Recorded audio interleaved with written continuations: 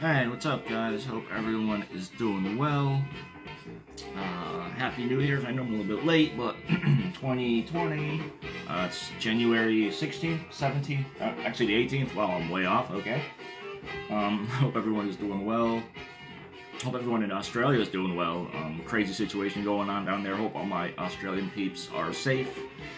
And yeah, crazy stuff.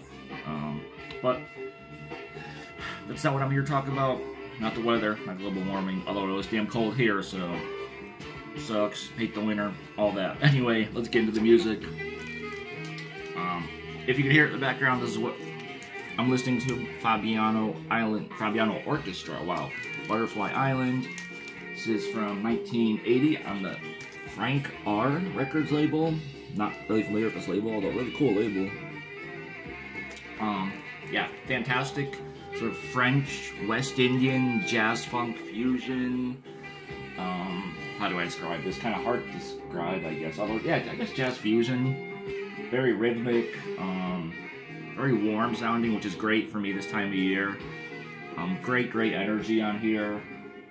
I love it. The cover kind of maybe looks like, a world music something. I don't know, but it's fantastic jazz. Um, and spiritual to spacey to just straight up great fusion. So highly recommend you check this out.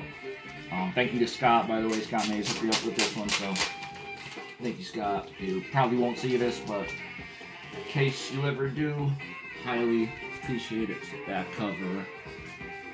Sorry, I kind of reset my camera headphones, so sorry if the picture's a little bit off, but kind of a cool uh, cool, huge group of players on this. That's all the players that are in this. Pretty cool. And definitely a Zen orchestra, you know. But yeah, fantastic, fantastic music. Highly recommend this. It was reissued by um, Superfly, so I'm pretty sure those are still pretty affordable copies.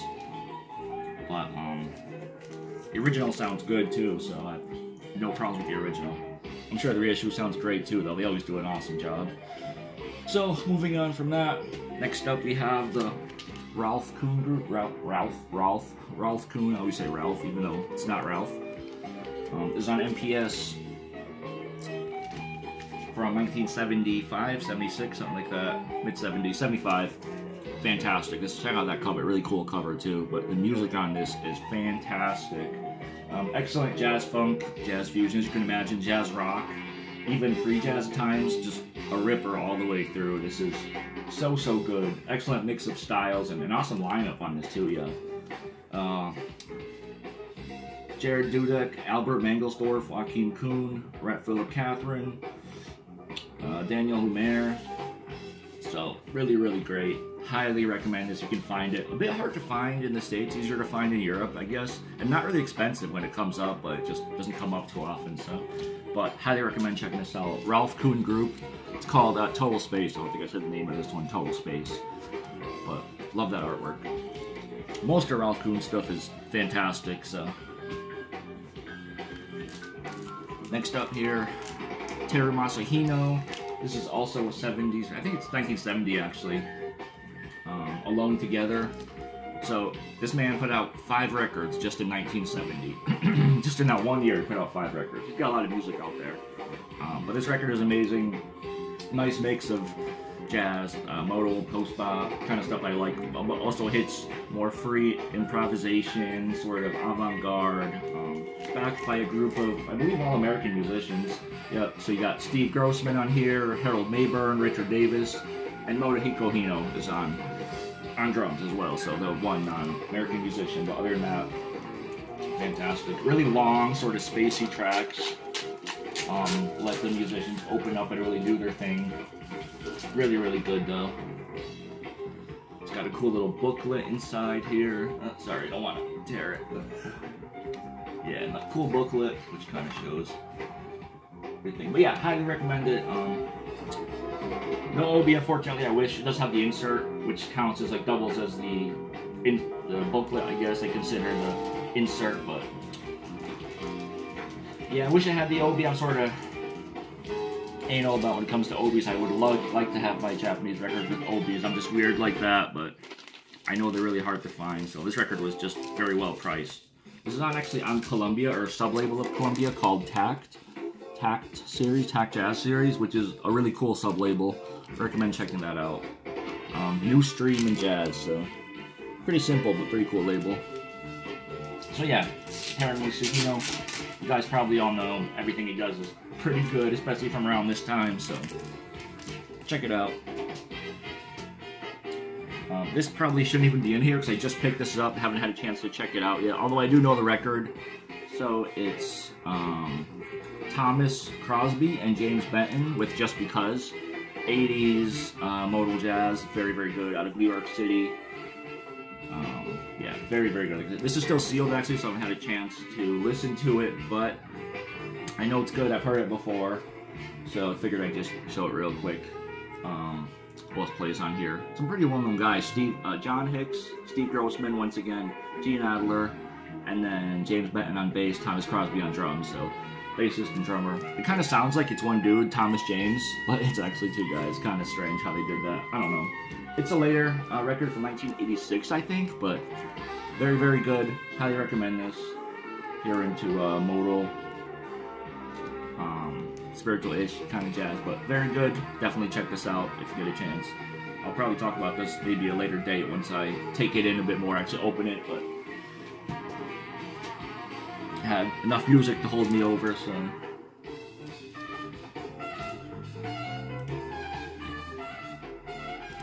Next up here, Dharma Trio. Um, what's it called? Snoopy's Time. Sorry, I forget the name of this. Very interesting cover. Kinda, kinda creepy, maybe. Scares me a little bit. This is on the SFP Records label out of France.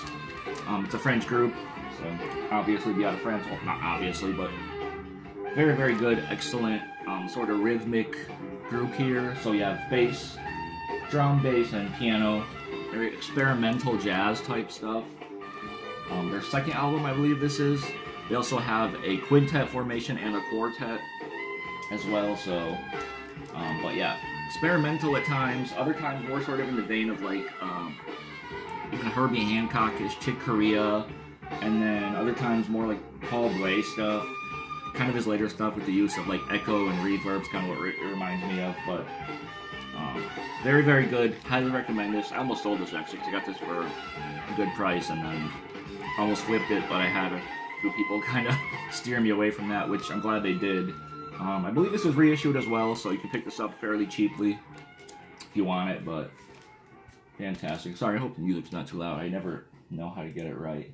It always seems louder than it is, but anyway, Dharma Trio, very, very good trio. I know not everyone's into trio stuff, especially stuff that doesn't have sax. There's no horns on this at all. Like I said, just piano, bass, and drums, but it just works for me. It's just damn good, so check that out. Another one that usually doesn't work for me, but this just does. Um, guitar jazz, not really my thing. Although I love his second record, Page 2, and this is his debut, Page 1, from Nathan Page. An excellent, excellent jazz guitarist. Um, basically a straight up jazz fusion record, but done very, very well. Like I said, not usually, not usually my thing, but this just is amazing. This is probably, if not on par, just under page two for me. So definitely check out both of those records, page one and page two.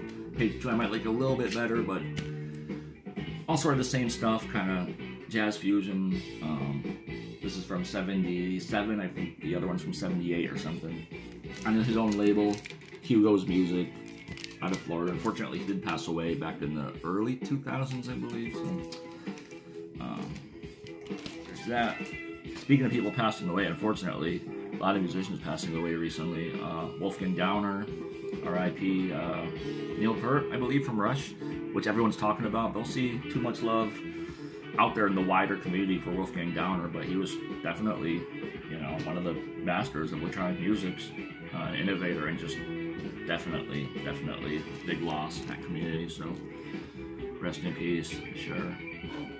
Let me take a sip here before we move on. All right, got a couple uh, records here coming up. So got this one from my friend John. Thank you, John, if you happen to see this. He upgraded his copy of Jazz by Sun Ra Volume 1. His first record, I guess the first record, whatever, you never really know. Because he's got so much stuff out there. But I guess consider his the debut record on Transition, which I love. By the way, I love this Transition label. It's amazing. Um, I guess these are known for having the labels fall off because there's no label on the B side, which the second or third actually, this is the third copy I've seen that didn't have the label on the B side, or actually the first one didn't have any labels at all. So anyway, fantastic early Sun Ra. Um, sort of like um, how to describe this? More post bop, I guess. Not really as space jazz ish as his like later stuff would, you know, kind of transform into, but fantastic nonetheless. Um, supposed to come with a booklet, this one didn't have one. Sort of a budget copy. I got it for cheap. Like I said, my friend upgraded.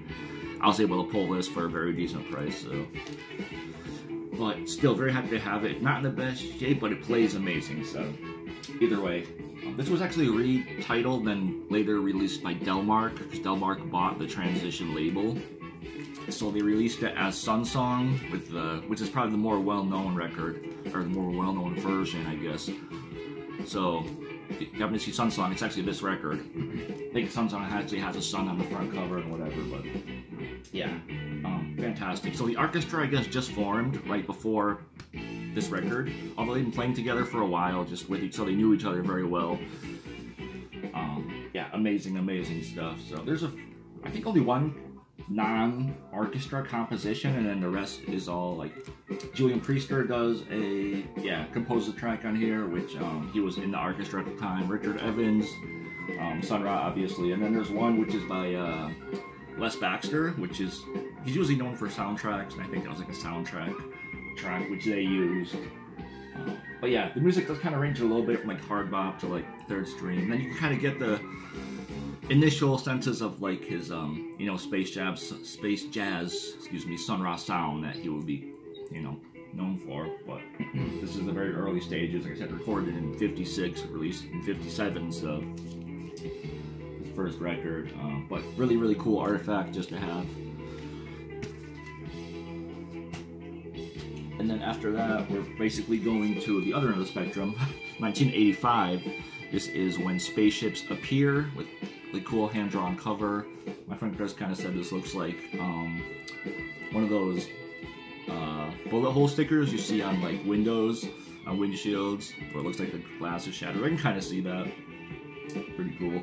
But yeah, um, definitely under other end of the spectrum as opposed to that one. This one is sort of the same, I guess, as in the music varies a little bit, although more so avant-garde, doing his like space jazz, cosmic jazz thing, free jazz. Um, this is a nice mix actually of Sun Ra tracks, and this is actually one of those hybrid releases where half of these tracks were on another record called Ra to the Rescue, which is probably the more well-known um, Sun Ra record out of the two. So I just grabbed this one because I never see it. So when spaceships appear, really cool. And plus I have the hand-drawn cover, so I had to get it. And I have shown this before, just a different version. So this is Sun Ra's art forms of uh, art forms from Dimension Tomorrow. Sorry, I forget the name of that. This is actually on Thoth. Thoth. I've shown the um, I've shown the Saturn Research or El Saturn pressing before. The other one has a little bit of blue in the cover. This one's just straight up black and white. I love this cover. One of my favorite Sun Ra covers. So simple, just very, very well. Well done. Has the usual lineup on here. John Gilmore, uh, Marshall Allen, Pat Patrick. I believe uh, Clifford Thornton was playing with him at the time.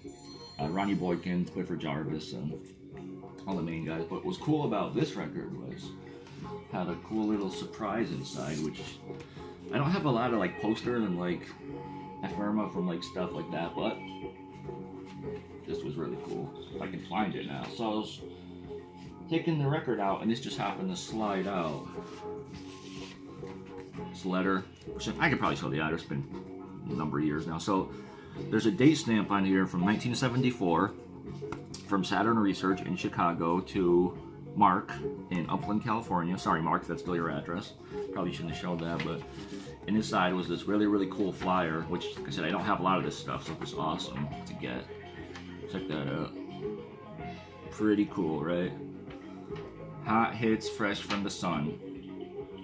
hot hits fresh from the from Sun Sound World.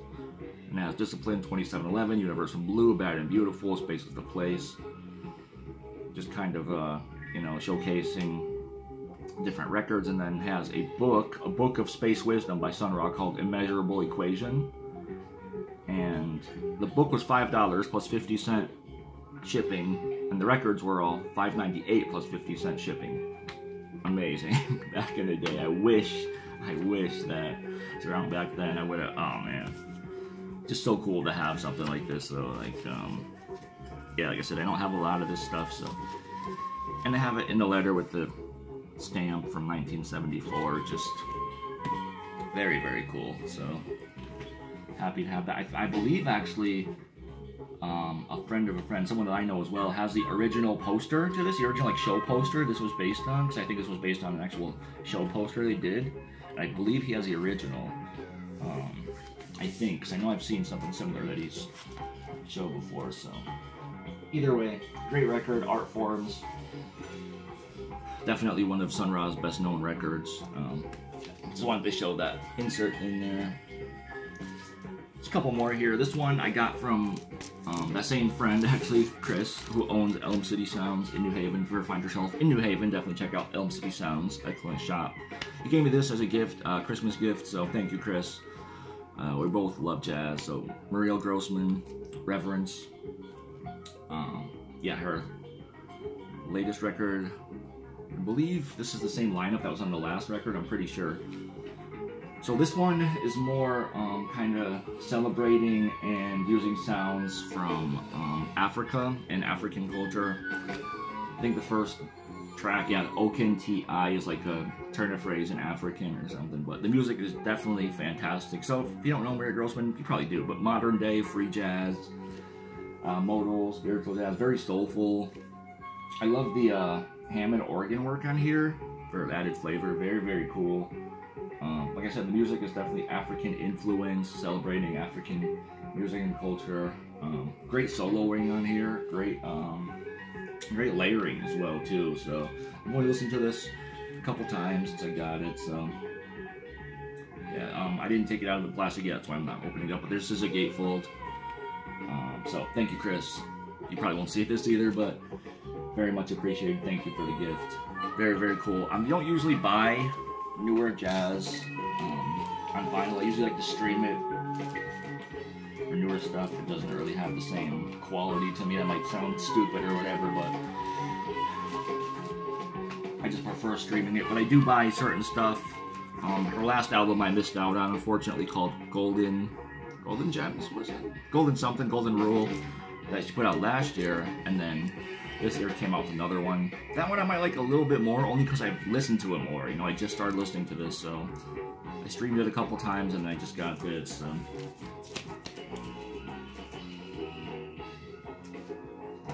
And the last one here, I was in a real local record store and just there wasn't really much uh, grabbed my attention, so I picked this up. Just saw this randomly. This is Solar Plexus, uh, Randy Masters Solar Plexus, and there's a couple different groups called Solar Plexus, but this is Randy Masters version on uh, Inner City. Pretty cool Inner City label there. Well, their name anyway, their Inner City label is regular, but. So, if you don't know what Solar Plexus is, this is their third record, sort of a um, electric jazz fusion, I guess, outfit I would say. Although this record in particular has Brazilian elements throughout. Very, very cool, heavy Brazilian sound. A lot of flute work. Definitely tell just by looking at it, it's Brazilian influenced. But yeah, fantastic, fantastic stuff on here. So, like I said, jazz fusion with Brazilian influences, and it also has vocals, although wordless vocals, sort of in the vein of like um, Urszula Dudziak, I guess.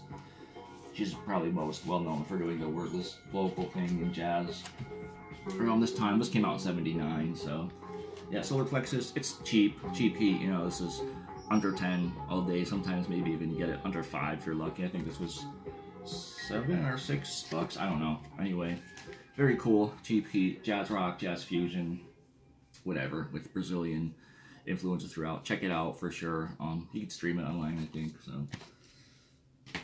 so that's it. I'll probably cut it off there. Um, might have a few more to show, but I'll save that for the next time because it's already coming up on 20 minutes. So you guys are probably tired of listening to me. I hope you enjoy the background music. If you could hear it, just gonna plug this record again. Say thank you to Scott because long time want list still finally locked off. Fabiano Orchestra, Butterfly Island. Check this out. Go pick it up. Um, pretty sure it's still available on Superfly, Superfly reissue, but dope, dope record. So that's it, guys. Thank you for watching. Um, hopefully back next month. Some more stuff. Peace.